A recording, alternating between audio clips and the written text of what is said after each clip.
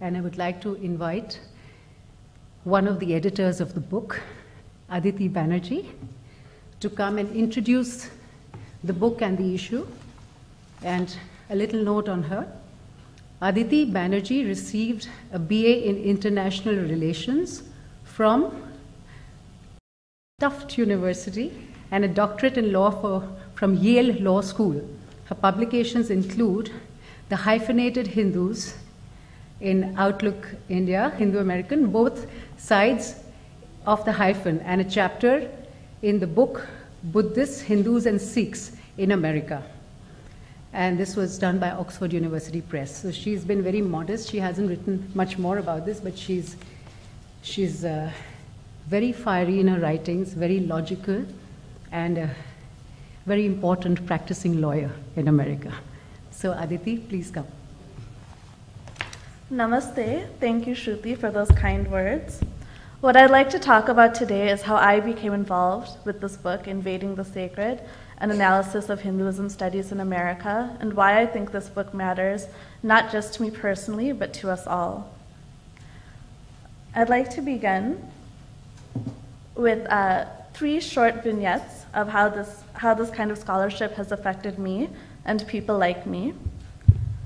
When I was in high school, my American history teacher, for no discernible reason, read to the class a newspaper clipping about an airplane that had accidentally landed in a remote Indian coastal village. The article described how the villagers rushed to Garland, the plane, and the pilot. The students and my teacher laughed uproariously at the ignorance of these villagers, or what they mistook to be ignorance, who saw an ordinary airplane and a pilot for, as gods. At that age, I did not have the words or the wherewithal to explain to them that Indians honor anything and anyone that enters their home for the first time. It is customary for Indians to garland honored guests, for example, or to place a dot of vermilion powder on new purchases. This does not mean we regard these objects or persons necessarily as God. Rather, such gestures express our gratitude and respect for them, as well as the divine for bringing them to us. Later on, in college in America, I was exposed to Jeffrey Kripal's theory of Sri Ramakrishna being a homosexual who had homoerotic feelings about and possibly abused Swami Vivekananda. It was presented to me not as speculation, but as an academically established and authoritative truth. All my life, I looked upon Sri Ramakrishna and Swami Vivekananda as saints who had revived Hinduism during colonial rule in India I had a picture of Sri Ramakrishna and Sharada Devi to which I daily offered arati, and I eagerly read Swami Vivekananda's complete works. I felt shaken by these academic allegations. Instinctively, I knew such claims were baseless and wrong, but yet these claims were made by made and vouched for by authoritative scholars with Ivy League credentials, so they could not be completely wrong, could they? Further on at work in my law practice in New York, I chose to wear a bindi as a mark of auspiciousness. Though some family members and friends warned me that my colleagues may find such a mark to be repugnant or primitive, my belief and experience was that Ameri- my fellow Americans were an open minded people and that I would face no such problems. However, I then came across Professor David Gordon White's book, Kiss of the Yogini Tantric Sex in its South Asian Context, in which he remarks that the bindi is a represent the bindi that a Hindu woman wears represents a drop of menstrual blood. At that point, I grew apprehensive, wondering if the bindi would be seen as some primitive, literally bloodthirsty rite. But still, I wear it every day, even though I do wonder sometimes, when catching the surreptitious, curious stares of others, what exactly they think of it and whether that perception has been shaped by the speculation of renowned scholars such as Professor White. Because my Indian friends and I have experienced such attitudes towards my religion, usually in the subtlest of ways, and because we have never had the voice or the ammunition with which to fire back to say that these claims are baseless and untruthful, I was delighted to accept the opportunity to become involved with this book. For what starts in American universities does not remain there. It spreads globally, per- percolates through to mainstream culture, to primary and secondary schools, and to the way ordinary citizens interact with and react to each other. The academic stereotyping of Hinduism as grotesque and over sexualized harms the serious study of its Shastras. The demonology of modern acharyas and gurus embarrasses an entire generation of budding scholars, preventing them to, to, from independently engaging with their works. And when our most cherished deities and traditions are exoticized or sensationalized, we are tempted to abandon those traditions and forms of Hinduism that make us Hindu. I would like to give a few examples of the types of academic misrepresentations that are having this kind of effect. The scholarship being critiqued in this book involves a pattern of Freudian psychoanalyses that sensationalize, eroticize, exoticize, and distort the meanings of sacred Hindu figures, deities, and traditions. Our book analyzes several such case studies, and here are some illustrative examples. This is a quote from Professor Wendy Doniger, professor of history and religion at the University of Chicago, past president of, Amer- of the American Academy of Religion and Association for Asian Studies, and an award winning author of numerous books on Hinduism. She has said in her now withdrawn entry in Microsoft Encarta that Holi, the spring carnival, when members of all castes mingle and let down their hair, sprinkling one another with cascades of red powder and liquid, that was symbolic of the blood that was probably used in past centuries. She has also said that the Bhagavad Gita is not as nice a book as some Americans think. Throughout the Mahabharata, Krishna goads human beings into all sorts of murderous and self destructive behaviors such as war, and concluding that the Gita is a dishonest book, it justifies war. Then we move on to Jeffrey Kripal, professor of religious studies and chair of the Department of Religious Studies at Rice University, who wrote a book which won the Best Book Award from the American Academy of Religion and was listed by Encyclopedia Britannica as its top choice for learning about Sri Ramakrishna.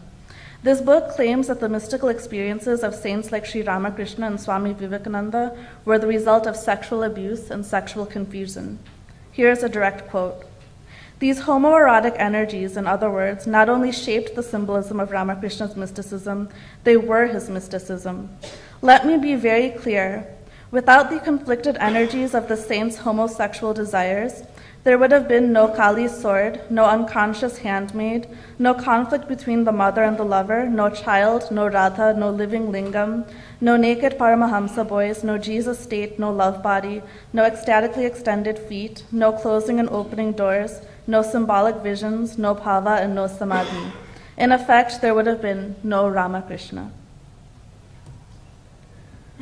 Moving on, we go to Professor Paul Courtright, Professor of Religion and Asian Studies and former chair of the Department of Religion and Asian Studies at Emory University, who wrote a book on Ganesha which won the History of Religions Award.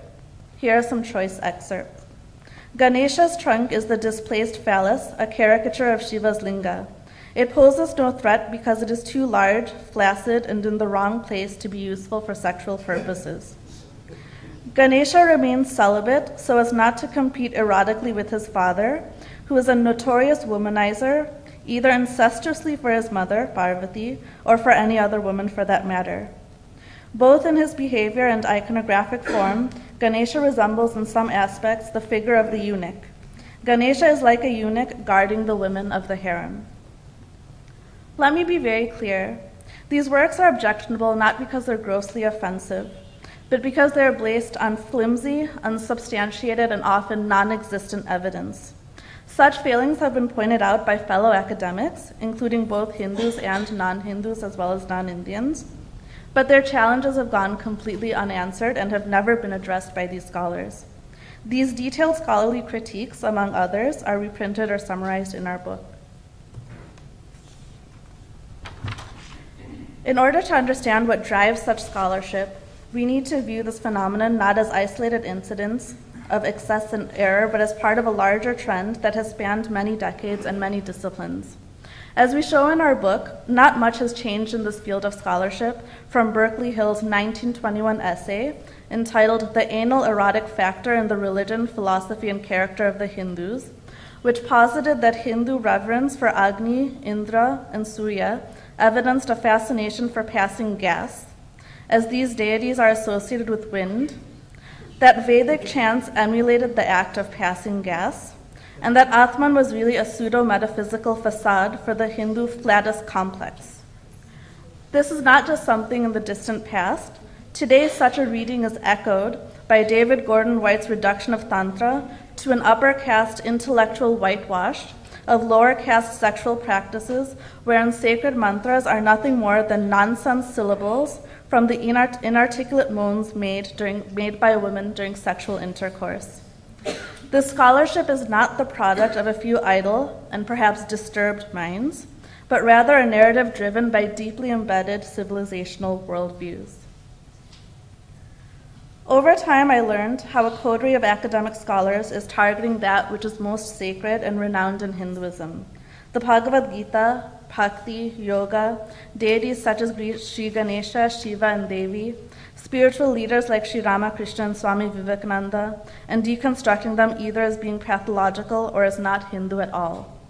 This is the invasion of the sacred, the looting of a living religion, an entire spiritual and cultural tradition by denigration and by appropriation.